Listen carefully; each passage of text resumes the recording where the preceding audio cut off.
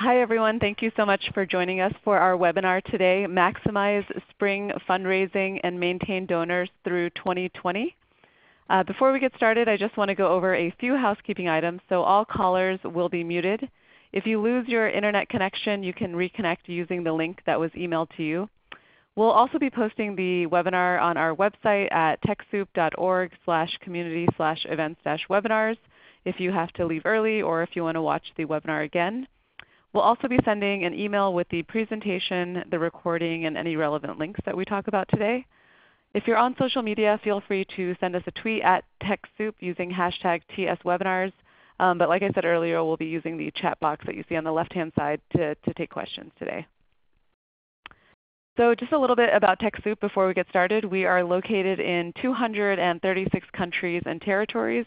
We serve, we serve over a million nonprofits and we partner with uh, several technology companies like Adobe, Intuit, Microsoft, Symantec, and several others that you see here to make our mission possible, offering uh, donated or discounted technology. If you're interested in seeing if your nonprofit is eligible to receive um, discounted, discounted or donated technology, you can use the URL below, and I'll, I'll chat it out here in a second um, if you guys want to see if you're eligible. All right. So I just want to make sure that you guys can hear me okay. So if you don't mind uh, just chatting in the chat box where you're calling in from, and I'm going to read a few of them out just so I can make sure that you guys can hear me okay.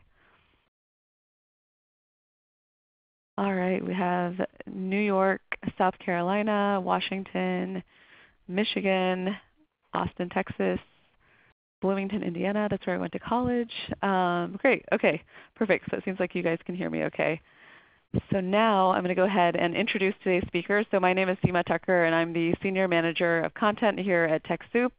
And with me on the call today I have Molly Trerotola. And Molly's background in philanthropy ranges from managing small-scale fundraising campaigns for nonprofits to large-scale communication projects for a Fortune 500 company's philanthropic initiatives.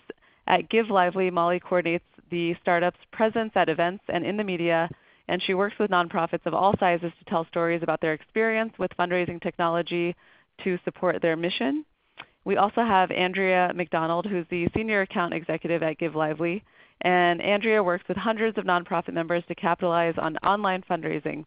Prior to joining Give Lively, Andrea spent 10 years in nonprofit development. She most recently managed the Donor Advised Funds program at Brooklyn Community Foundation. She also supported annual fundraising for Phoenix Charter Academy Network in Boston, serving as the Manager of Development. Andrea received her MA um, in Campaign Management from Fordham University. So I am going to go ahead and pass it off to Molly. Thank you so much, Seema. Hi, everyone. Thank you for joining us today. This is Give Lively's second TechSoup webinar. We did one last year around developing a strong end-of-year campaign, so we're really excited to shift gears into spring fundraising. Before we jump in, just want to reintroduce ourselves and dive into Give Lively a bit. So Seema did a great job of introducing us, but hello, I'm Molly. I'm the Media and Communications Manager at Give Lively. I've been with Give Lively for a year and a half, and I have um, a lot of experience working with nonprofits, developing communications campaigns, and the rest Seema covered really well. Hi everyone, this is Andrea MacDonald. I am a Senior Account Executive here at Give Lively. I work with over uh, 200 nonprofits currently and support them on their online fundraising goals and technology implementation.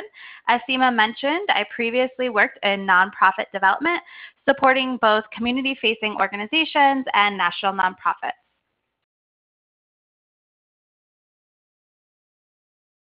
So a little bit about Give Lively. Before we dive in, we want to provide background on what we're all about um, and who's behind the webinar.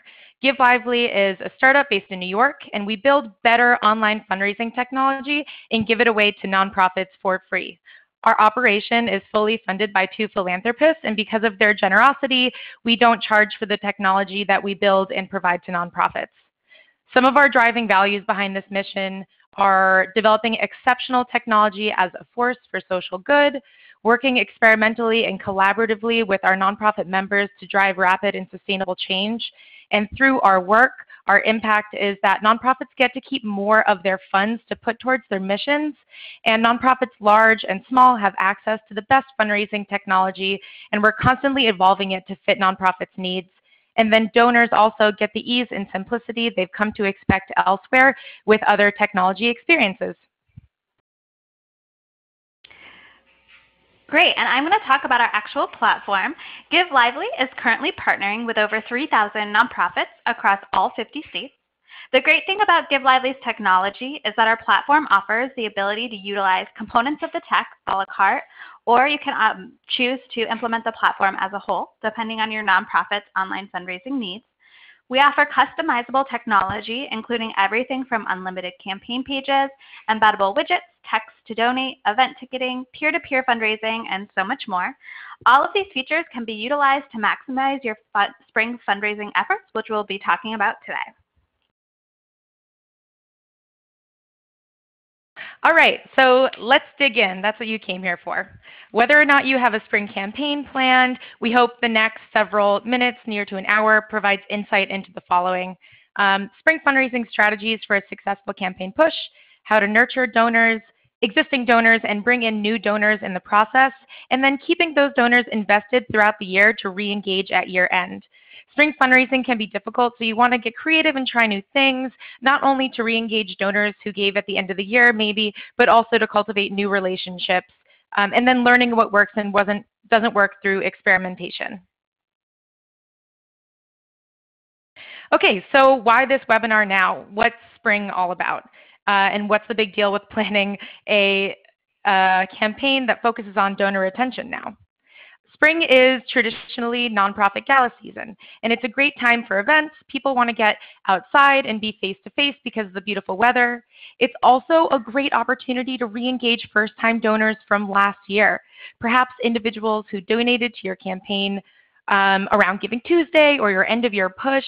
Um, and it's also a super time to set the groundwork for building strong donor relationships that you can leverage again in the fall. Beginning of the year is a good time to capitalize on because people are turning over a new leaf, creating New Year's resolutions, making pledges, setting intentions for the year to come, and they're receptive to learning about new causes and getting involved. And then when the year end approaches in the fall, people will give to charities that they've already established relationships with. And then finally, donor retention um, is one of the biggest challenges facing nonprofits. Bringing in new donors is costly, so it's worth investing time in existing donors who have already demonstrated interest in your organization. Um, a study by the Association of Fundraising Professionals said that 60 to 70% of new donors fail to give to the same organization again the following year. And then also um, a research by the Rockefeller Corporation indicated that over half of donors leave an organization, who leave an organization, they do so because of lack of effective communication from the nonprofit they supported. So these two things together mean that there's drop off from first time donors, and the key is keeping them engaged through active communication um, because these relationships will, will eventually pay off. Great. So over the course of our presentation, we're going to walk you through a spring fundraising roadmap from developing goals, identifying an inspired campaign theme, and why that's important, effective fundraising mechanisms, and best practices to follow so you can reach all of your spring fundraising campaign goals. We will also view the donor's journey through the roadmap with an example donor persona that will carry through the remainder of the presentation. So the first thing that you're, oh, sorry. so the first thing that you're going to want to do is set an intention and goal for your campaign. Clearly establish what you are trying to accomplish and how you're going to get there. Next, you're going to be developing a relevant theme for your spring fundraising campaign. Then we'll talk about planning your fundraising strategies and understanding exactly how you're going to go about raising money. And then we'll show you an example execution of these steps together. So the first thing we're going to talk about is setting your nonprofit's goal. You're going to think about different goals that you can target with your spring fundraising campaign. It can be monetary, it can be something like increasing your donor base with new donors, focusing on gaining millennial donors, or increasing monthly sustainers. Whatever you'd like to focus on, make sure you have a clear and measurable goal so that you can, after your campaign, reflect back on your success. The goal we will focus on in this webinar will be utilizing new fundraising tools to engage new donors that can be stewarded throughout the year, teeing them up for an end of year ask. Now we're going to dive into developing a theme for your campaign. A campaign theme is important because it provides a rallying point and relevance for your donors. It is the anchor and will help to generate buzz and a sense of urgency. Rally supporters around current events, awareness days, holidays, birthdays, and anything else creative that you can think of. You should definitely uh, consider having a lot of fun, fun with your theme and doing something original and out of the box. So you can focus on a spring holiday. Here at Give Lively, we've seen a lot of our nonprofit members develop strong campaigns focused on holidays like Mother's Day, Father's Day, International Women's Day, and Earth Day, to just name a few. You could also consider any organizational-wide milestones, like your organization's anniversary or maybe the birthday of a key stakeholder, such as your founder. You also have an opportunity to capitalize on current events that have a specific tie-in with your nonprofit's mission. For example, if you're an environmental organization, consider focusing on natural disaster relief that's timely and present. If you're focused on social justice reform, consider a rallying call around current political events. These types of themes are powerful because they activate your engaged donors, often have a connection to some kind of viral social media campaign, and that will allow your organization to capitalize on them. You also can always create a program-specific digital campaign. You can tailor a spring campaign to be focused around a specific program component of your organization. For the sake of our webinar, our example campaign will be focused around fundraising for girls.org with a theme based on International Women's Day, which this year falls on March 8th.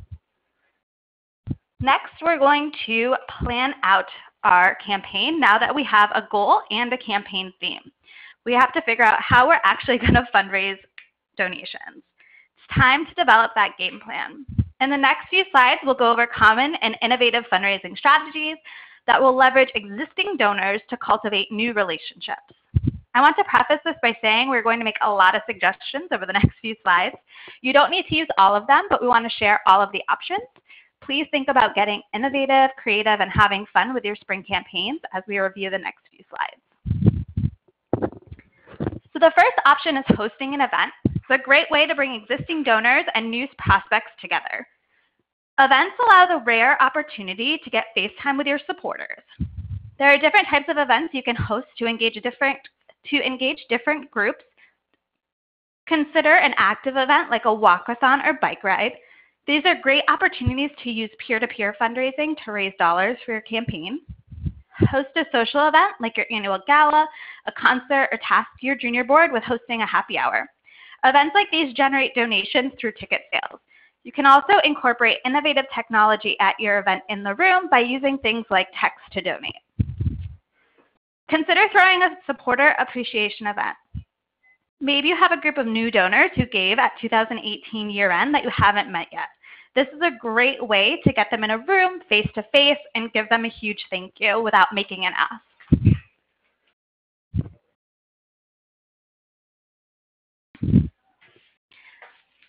Again, another great idea with your event is fundraising within the room. This is a new innovative technology that you can use and incorporate in your live fundraising event. Text to donate is a great option for a live event. It allows you to ask, make an ask of donors in the room, and it eliminates the work of your development team for having to go back after and follow up with pledge cards uh, for people who pledged in the room. When they're text, using text to donate, they have the opportunity to complete their donation in real time, which allows you to follow up with a genuine thank you and continue stewarding the relationship in a heartfelt and intentional way. Peer-to-peer -peer fundraising is the next thing we're going to go over. This is a great way to empower your ambassadors and stakeholders to fundraise in a new and unique way with minimal time from your internal development team. It's an easy way to keep existing donors engaged while leveraging their networks to expand your donor base. Remind them that it's easy to create a peer-to-peer -peer campaign for things like their own birthdays, anniversaries, or other special life events that are going on and are relatable. You can target different groups of existing donors. For example, if you're working to engage more millennials, peer-to-peer -peer is a great way of getting their support and investment in your organization. You also have the opportunity to engage donors in some friendly competition by doing peer-to-peer -peer challenges and utilizing technology like peer-to-peer -peer leaderboards to show donors how they're stacking up against each other.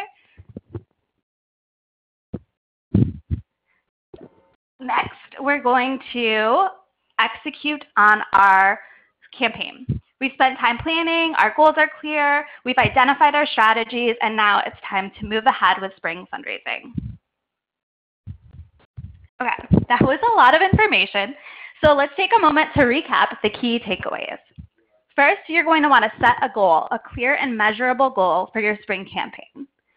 Then you're going to have some fun and create a unique and fun theme that relates to your organization to fundraise around for the spring. And then you're going to go ahead and plan the fundraising strategies you'll use to raise dollars to reach your spring fundraising goal. Now we're going to bring you along a donor journey from attraction to your mission to donor conversion. Again, we'll use peer-to-peer, -peer, excuse me, again, we will be using fundraising for girls.org focused on International Women's Day. And we're going to use peer-to-peer -peer fundraising. Thank you so much, Andrea. Hi, everyone. It's Molly again. I'm going to bring you through an example donor journey um, showing you the phases that lead to a donation and what you can do to ensure success along the way. So this is our example persona, Natalie Newby, and this is what you need to know about her. She's never donated to girls.org, but she is friends with a volunteer, Simone, who you saw in the previous peer-to-peer -peer slide. Natalie's qualities are that she's active on social media, she's engaged in current events, and also invested in her local community. All right, so remember that we've set our example nonprofit goal. We want Natalie or someone like Natalie to donate during the spring campaign, and then we want to keep her invested so that she'll donate again in the fall. And we'll do this through peer-to-peer, -peer, as Andrea said, um, that we've established for our spring campaign push. All right, so first up is the attraction phase. What will actually lead our example donor, Natalie, to be introduced to girls.org through Simone and then later become a donor? Girls.org asked Simone to support their spring campaign around International Women's Day um, to help fundraise for their programs. And Natalie sees Simone's uh, a tweet leading to her peer-to-peer -peer page that eh, once she's like perusing topics online related to International Women's Day, uh, maybe they're trending on social media, but she's intrigued.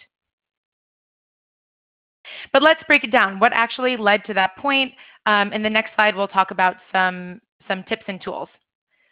So to ensure donor attraction, you have to set up your fundraisers for success.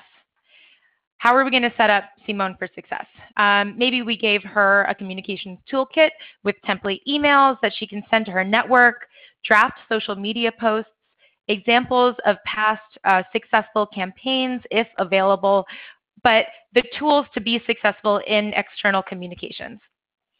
We also want to provide some type of marker system so our peer-to-peer -peer fundraisers can track their progress along the way. At, at you know, two-week mark, they should have raised this much. At, at this other mark, 90% of the goal. Otherwise, um, they might not know how they're tracking against their overall goal. And then also suggest a target goal so they know how much they're supposed to be fundraising. Are you hoping a fundraiser or are, is girls.org hoping that a fundraiser raises $50 or $5,000 and in what time frame? By providing a recommended target, we can help track accurately against our overall campaign goal. And then finally, checking in, supporting our donors along the way, just letting fundraisers know that you're there for them is super helpful and that you're in, um, you're invested in their progress and their success in a campaign. Okay, so the next phase of Natalie's donor journey is engage. The engagement phase is that Natalie saw Simone's tweet, arrives at the fundraising page, great. But this is another opportunity, um, or this is another part of the donor journey that creates friction and um, that a donor might fall off and not continue their journey. So what can we do to ensure engagement in the mission and then keep her moving forward along the donor journey? Um, some strategies to do this through messaging and technology, evoking emotion with the right messaging and imagery, which we're going to dive into. So tips for messaging for impact. Um, here are some strategies to ensure Natalie stays on a donation page and becomes invested in the campaign and the mission. First, you need to optimize your messaging by being consistent and cohesive and strive for an appealing online presence. This means language, branding, imagery that's consistent across channels, and also messaging that focuses on constituent success stories and doesn't rely heavily on number metrics because individual stories are really what um, evokes emotion and creates impact. You should um, strive to include powerful imagery through pictures and videos. And if you don't have these in your nonprofit's archives, you can always look to free websites um, like Flickr Creative Commons or Unsplash that have great stock photo imagery to use that would better um, or can help illustrate your organization's mission. And then also in your messaging, have a clear call to action. What do you want the donor to do? Donate one time, become a monthly donor, support X program, be clear about the call to action and the intended outcome. And then also what you hope to accomplish through impact stories. Show the impact of a dollar amount so that a donor knows that $50 may do this, $100 may do this, or higher donation amounts, but illustrating the impact of, um, of a dollar is really important. And then finally, build a sense of urgency in your campaign with the deadline and fundraising goals. And all of these elements together establish trust with the donor um, and that a potential donation can make a real impact. Moving along the donor's journey is the conversion phase. This is the long haul. Natalie is fully engaged and about to donate, but your work is not done yet, and this is arguably the most important phase of a donor's journey. In fact, over half of donors who start a donation process don't finish it, and this is called donor drop-off or donor page abandonment um, because this can be a main point of friction if it's not easy as, as easy as possible for a donor to give. As I said, there are several friction points along the donation process and the um, actual checkout. Is, so we're going to dive into the technology piece right here. Um, the actual checkout process is one of those main points. You want it to be as seamless and enjoyable as possible by providing the right technology. Try not to create barriers for your donors to finalize their donations. You can do this by keeping your checkout form concise and collecting only the donor data you absolutely need in the moment. Um, we've shown that asking additional questions and having this long-winded form actually it deters donors from finalizing the donation process, whereas a form that has a single click or, or a double click checkout process is much simpler. Also, don't make, don't make your donors search for your donation page or donate button. Um, put your fundraising button front and center of your website if that's where you choose to have it. Um, just make it easy for them to donate. And then for, again, with the technology piece, ensure ease of use for the donor. And you can um, do this by making your donation pages or website mobile optimized. This is especially important for attracting younger donors because younger donors are always on their phones or on the go. Um, so if a donation page is not optimized for a mobile device and that's where they're reaching it the first time, then they might not donate in the moment and might not remember to do so later on. And then finally, and I know this is a long slide, but offering multiple payment method, methods also makes it easy for donors and removes any potential barriers. This doesn't mean having a million different ways to donate on your website like Amazon Smile and multiple um, donation platforms, but it means different payment methods like um, your donation form offering debit, credit, ACH, etc. Okay, so step two of, of this phase, we're going to shift gears a little bit. So after ensuring donor conversion, amazing. Natalie donated to Girls.org's uh, International Women's Day campaign. But now that we've cultivated this new donor and hopefully a new donor pool through the spring fundraising push, how can we ensure that they don't fall off or forget about the organization during a summer lull? We're going to show you how to do so through various messaging strategies, starting with best practices and then tangible examples using Natalie's donor persona and donor journey. Um, we're going to leave behind hard fundraising strategies right now and focus on um, communications and messaging, but we'll loop back into that later.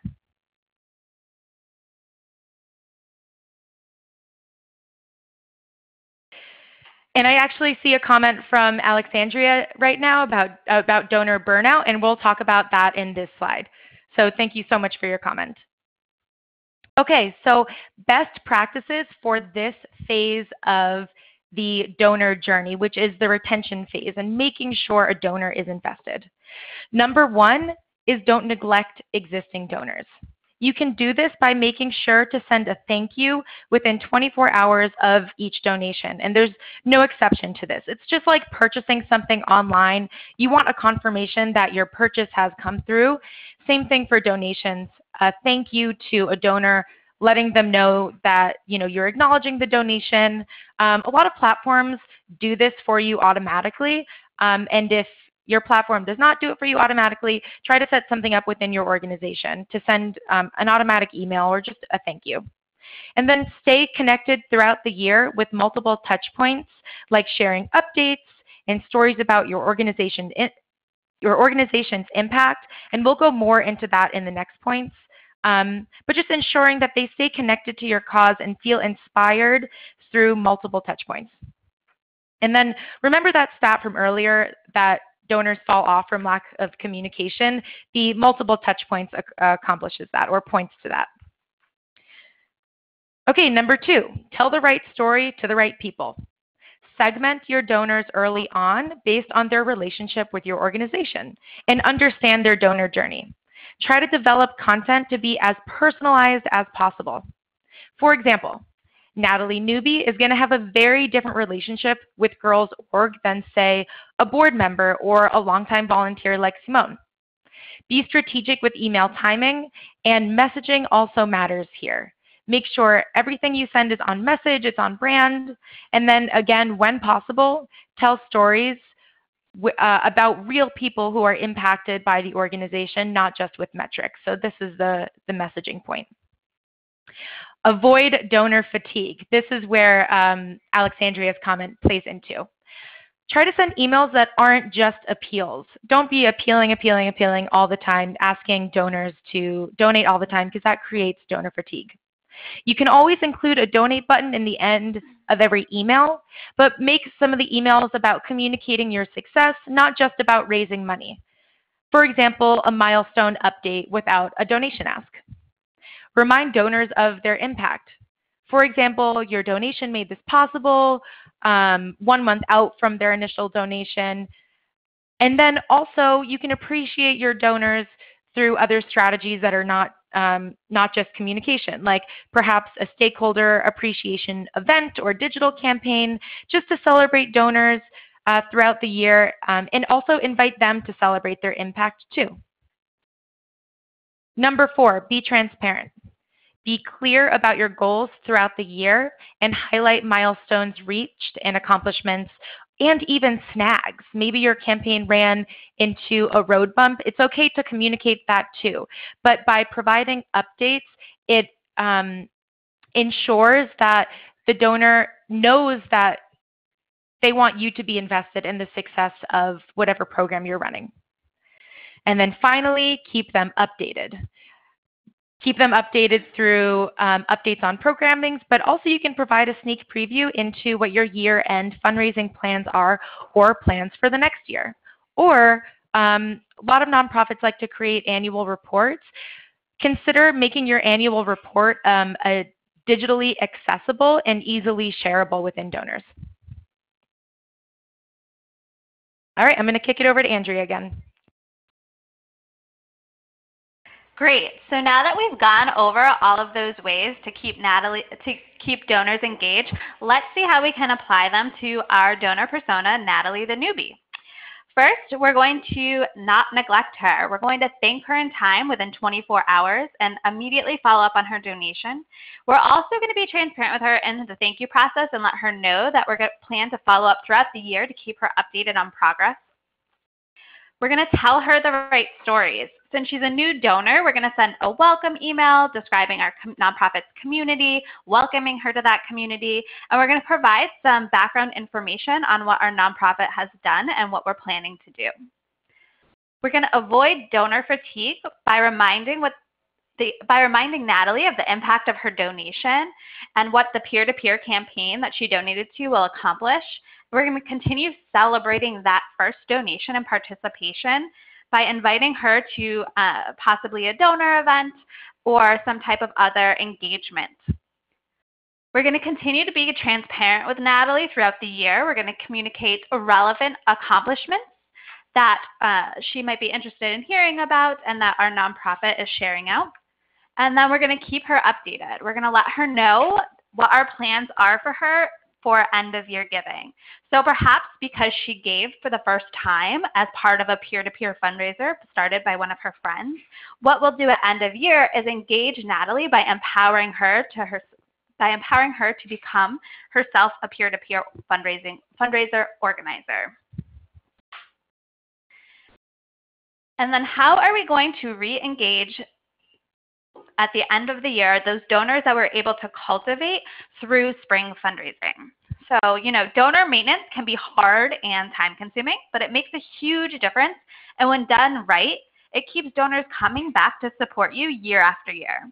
Potential for more support in the future is huge, and it's easier to keep existing donors engaged rather than having to invest year after year in finding new donors.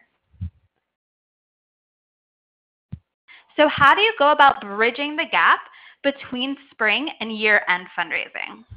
First, communication and your messaging in your story. Digital communication needs to be new and updated. You don't want to recycle your spring and summer communication. You should always be forward thinking to what you're going to be doing during the summer and fall. Small changes to your communication and the, about the work that your organization has done is essential throughout the year and as you br bring your donors into end of year. Make sure to include imagery. You don't want to be sending long-winded, long emails where, that your donor is going to have a hard time spending or having your donor is going to have to have spent a long time reading. Include a lot of imagery and use those images to tell the story. If your organization doesn't have good images, you can use a lot of free websites online and other resources to uh, for high quality photos. You're going to want to recap accomplishments. Keep updating followers on progress towards your fundraising goal and the closer that you get to reaching that goal.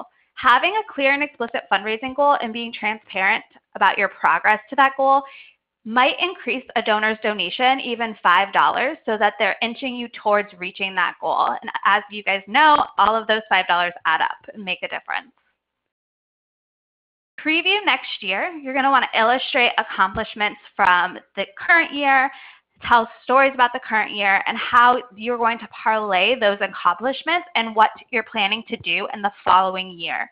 And in doing this, you're going to want to focus on individuals impacted by your organization rather than metrics. And remember, less is more. Uh, make a lot of call to actions, make them loud and clear, Include a call to action several times throughout your email so that it's very clear to your donor that that is what you want them to be doing. Don't overwhelm with communication, but as you get closer to year end, ramp it up. So, you know, it is the end of November, you're going into December. It is okay to be emailing your donors once a week. It's not that you're being pushy, you're not being aggressive. View it as that you are advocating for your organization. You are the number one advocate. And then peer-to-peer fundraising. For those that raise money during the spring campaign, give them the opportunity to continue fundraising for you in the fall and winter. Maybe they didn't reach their spring fundraising goal, so you're going to have them sign up for another opportunity to raise money, market it as a new opportunity, and just re-engaging them and supporting the organization. Remember that with peer-to-peer fundraising, you're going to want to provide a how-to guide with sample social media posts so that you are making it as easy and simple as possible for your peer-to-peer fundraisers to fundraise on your behalf. Great. So how are we going to re-engage our donor persona, Natalie, for end-of-year giving? So between Thanksgiving, Giving Tuesday, and then end-of-year festivities, there are lots of ways that you can engage Natalie. The, the end of year giving might be a little bit more less event focused, but you can definitely still hold something related to the holiday, or maybe you do a Giving Tuesday happy hour. You're able to utilize events still at the end of year. Segment out donors who gave earlier in the year, and also segment donors so you don't ostracize those who have given generously in the past. Thank them all and tell them all about their, how their contribution specifically helped your organization achieve what you wanted to do. Then pivot to appeal and ask them how they can give a bit more and get a little bit more involved than last time and be clear on how that is going to help your organization.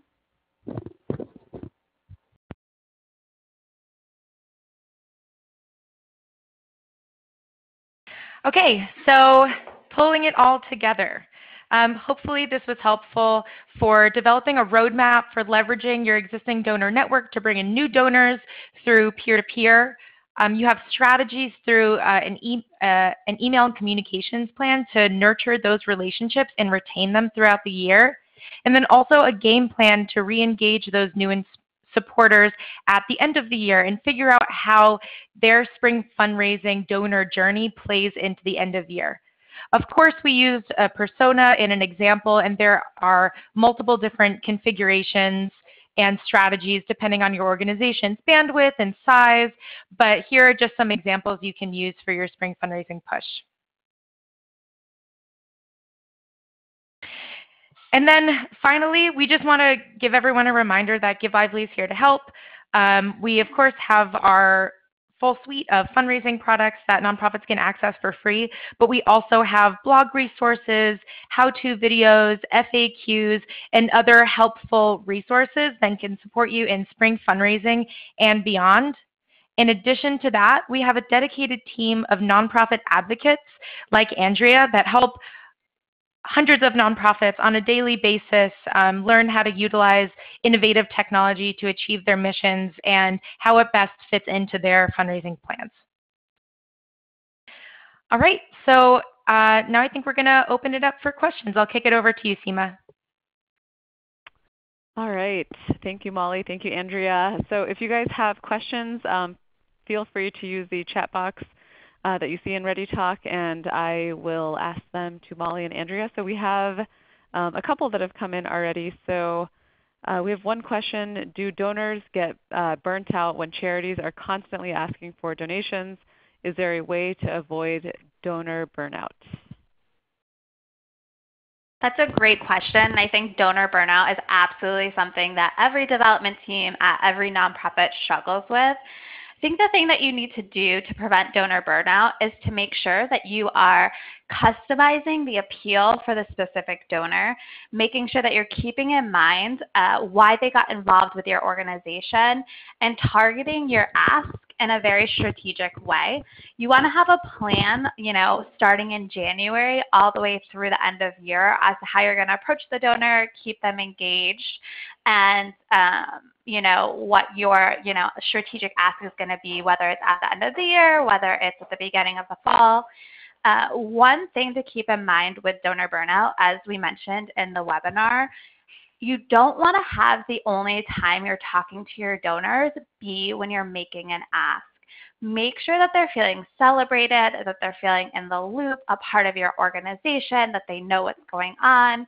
Maybe even give them a little VIP treatment um, by previewing things that, you know, aren't going to necessarily be out on the, the website. Um, doing all of those things make them feel unique, special, and like a very high priority to your organization. And those are the types of things that are going to help them avoid burnout with your organization. And then when it comes to something like end of year, when they're getting hit by, you know, 100 different nonprofits for donations, they're going to remember yours and your ask is going to stand out against everyone else's.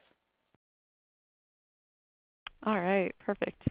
Um, so we got another question here. In terms of text to donate, um, how do you how how would one go about setting that up? Yeah, so Give Lively, we also we actually offer a text to donate program, which is pretty remarkable.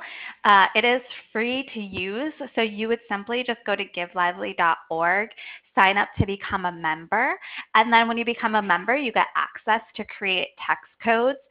Uh, those text codes are linked to campaigns that you build out, and so you know if you're having a gala and you have you know 500 people in a room and you want to use text to donate um, in real time to make an ask of your donors, you, you just create a text word. They're going to text that text word to a short code that we provide you, and uh, that's that's as easy as it, as it is. You're going to ask your donors, pull out your phone. They're going to pull out their phones, make the donation.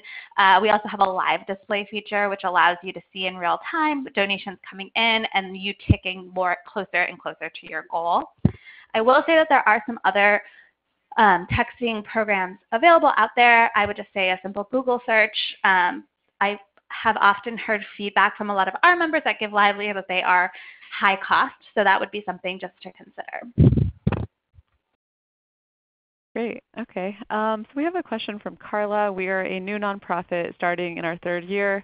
We help single moms move from poverty to prosperity with a career education. We want to do a Mother's Day event slash fundraiser. We did a Facebook ask last year. Didn't go too well. What would you recommend? First, Carla, wow, you guys are doing amazing work. And in your third year, I would say, you know, the biggest thing is keep pushing and pushing because you guys are going to get um, to continue growing and growing your fundraiser year after year. Um, I would say that Mother's Day is a really great opportunity to put an event together that will be celebrating these single moms. Um, so maybe engaging donors around doing like a flower drive. So donate $5, um, send a flower to a, a, single mom for Mother's Day to remind her that she's special. I know that, you know, Mother's Day is really important. I always want to make my mom feel special on Mother's Day. And so I think that that's a great opportunity to reinforce that. You could also do, uh, I don't know if you've done peer-to-peer before, but I think Mother's Day is definitely something um, you can engage your stakeholders and current donors around. Everyone has a mom. Who doesn't love to celebrate their mom? So, you know, launch a strategic peer-to-peer campaign, have your current donors reach out to their networks to support moms on Mother's Day. And I think that's a really strong and easy ask. Um, and yeah, it's a great way to get people engaged. And then you'll also be doing, you'll effectively be growing your donor base because, you know, even if you have five donors currently and they reach out to their greater networks, by the end of the campaign, you can increase those five current donors to 50. Okay. Uh, we have a really good question here from Jeff. Uh, does it help to have a multi-tier approach to an event by sending snail mail and following up with the various social media platforms, or is that overkill? It is definitely not overkill. You are throwing an event, you are planning an event. It is hard work and you are putting it in. You want people to get there. And so drive them any way, drive them there any way that you can, um, especially thinking about different audiences. So um, you know, you definitely have donors probably that skew older who are going to be checking their mailboxes every day. They expect to see that save the date and hard copy. They expect to see that invite and hard copy. But then you also might have like junior board members or millennial donors who, you know, they check the mail once every six months because everything is automated online for them. Um, and so you know, they're going to be seeing things on social media. They're going to be getting things in their email, and that's how you're going to reach them. That being said, what is the harm in just bombarding people with social media and email? You want them to be reminded to be at your event. And then you also want to make it really easy for them to share with larger networks that they're going to your event, that your event is happening. So having on social media makes it easy to share on Facebook, Instagram, Twitter, and then you know emails can just be forwarded to huge groups of people. So I definitely think multi-tiered approach is the way to go. And over communication about, about events is always a good way. As people sign up for your event, though, make sure you segment them out of your list so they're not getting asked to RSVP when they've already done so. Great. Um, in terms of, uh, I guess, customizing campaigns and um, you know, just making it more specific to the person, are there certain like data points that nonprofits should be thinking about um, to make sure that they're able to message their campaigns correctly?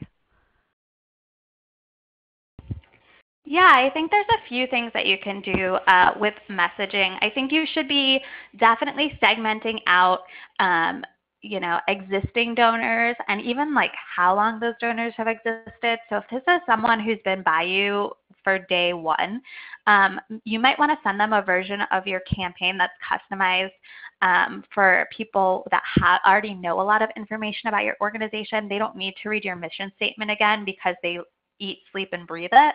Um, and you also might want to send them a campaign page with suggested donation amounts that skew slightly higher. Whereas um, if you have some new first new donors who just gave for the first time and this is the next campaign, the next time that you're making an ask, I would definitely still be sending them material that you know is directly uh, easily relatable to your mission, easily expressive of your mission, and then you might you know want to tailor those customized donation suggested donation amounts, excuse me, to be aligned with like a slight increase from what they've given previously, but not, you know, asking them to go from a $5 donation to a $500 donation. Gotcha. Okay. Um, so we have a, another question here, which is, I guess, I'm sure, I'm sure you guys get this question quite a bit, but um, Katie is asking, we, she said, we struggled on Giving Tuesday last year. We think our donors may have been overwhelmed with lots of asks from different people. How can we stand out with our end of year campaigns? Yeah, I think that that's something that we heard a lot from our um, here at Give Lively from our membership base, especially members who are smaller organizations. Um, I definitely think Giving Tuesday, you know, it's widely successful for nonprofits across the country, but there are oftentimes it is oftentimes overshadowed by some of those larger nonprofits who have really utilized it to capitalize on donations. That being said, like I always make the recommendation for our members to start their own giving day. Uh, you know, you're going to engage your donor base around your giving day, um, whether it's, you know, December 2nd because that's your executive director's birthday, or it's in the month of October because that's the awareness month for your cause. Uh, the thing about having your own giving day is that when your donors are sharing out their participation in your giving day, there's not going to be any other giving day going on. It's not this national push where people are just seeing it everywhere on Facebook, on Instagram, um, getting emails into their inboxes. So I would definitely say that you could start your own giving day. On Giving Tuesday itself, I would be strategic um, in your plan with your donors so that you have a very uh, mapped out communication plan throughout the day of Giving Tuesday um, that's going to reinforce your rallying call of action. And then with end of year, um, I just think telling a story is always so important, and that's what's going to make your organization stand out. The work that you're doing with the people that you're doing it for, tell the best story and give the best and most inspiring reasons for donors, new and uh, recurring, to re engage with you at end of year.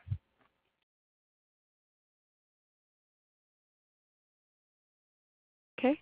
Um, all right. I think we have time for maybe two more questions. So um, we have a question from Rita. So she said, our contributor board goes by amounts. White is up to $50, red is 50 to 250, and blue is 250 and above.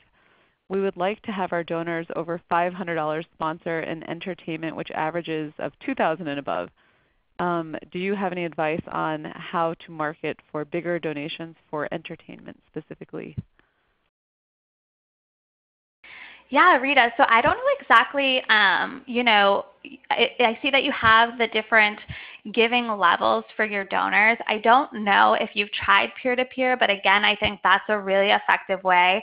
So, you know, these white donors are $50, red donors are $50 to 250.